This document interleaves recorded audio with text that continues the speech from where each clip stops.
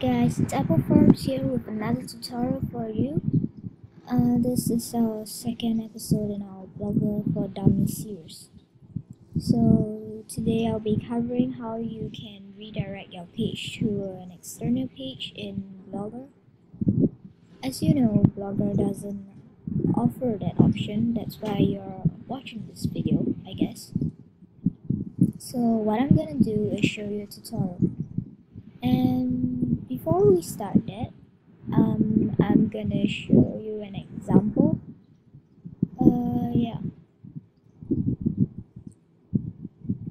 So basically, here are my pages, and my forum page is actually a redirect page. So I'm gonna click on that, and it's gonna be redirected in about 8 seconds. Yeah, I notified my viewers about that here. I'll show you how to do later. Oh, it's redirected. Okay. So then you're gonna go back, go to your blogger, blogger.com, sign into your Google account.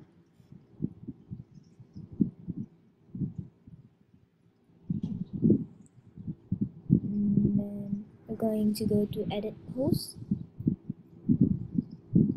edit pages and you can choose whether you want to edit uh, existing page or you want to choose new page. I'm just going to choose new page.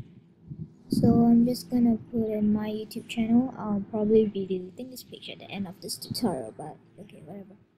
And then you're going to go to publish page view page. I'm going to copy this link over here. Go back and back again to edit. Then by default it will be compose but you have to choose edit HTML if you want to have the redirect block thing. So just click edit HTML so um, remember the link you copied earlier?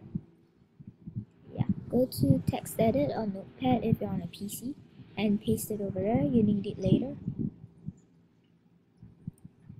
Uh, okay and you want to go to the description and download this uh, this file containing this codes I'm just gonna copy it and paste it over here. The edit HTML don't forget that.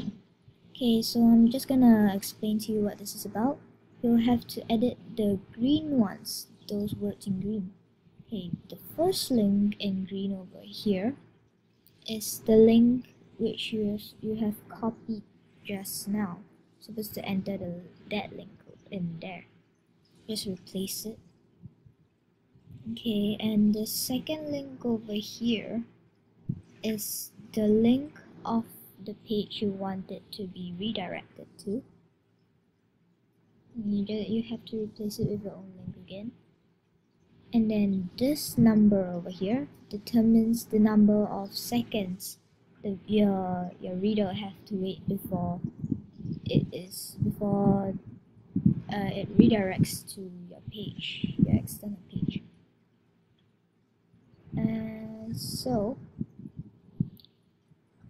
um well okay just copy this again. Then you paste it in that first green link thing. Just paste it there replace it.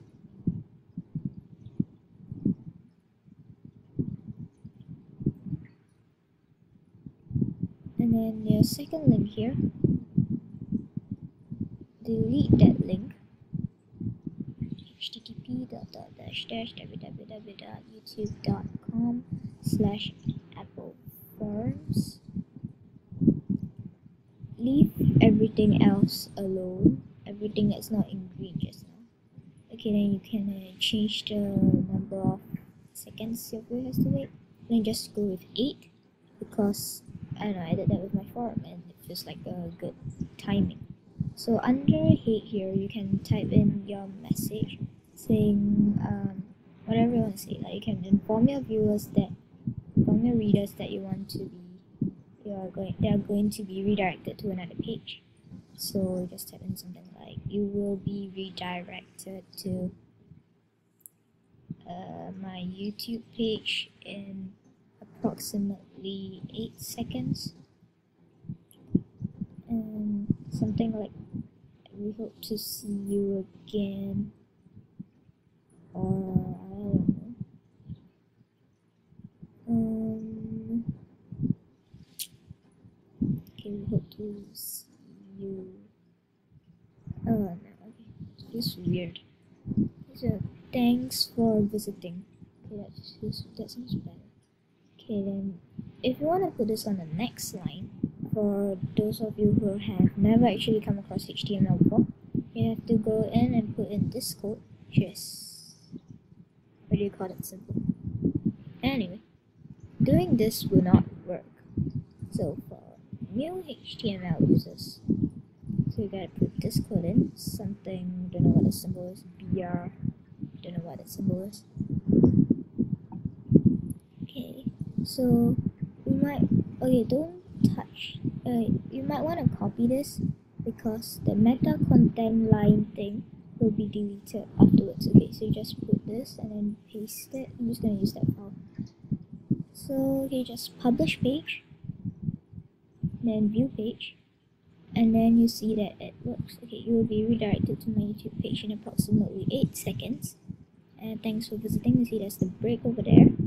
So see okay we're redirected. I did not touch anything. Uh, I did not key in anything because you could see my screen there and there wasn't any keyboard shortcut or anything because I'm just gonna my keyboard on screen so I hope to see you again. Bye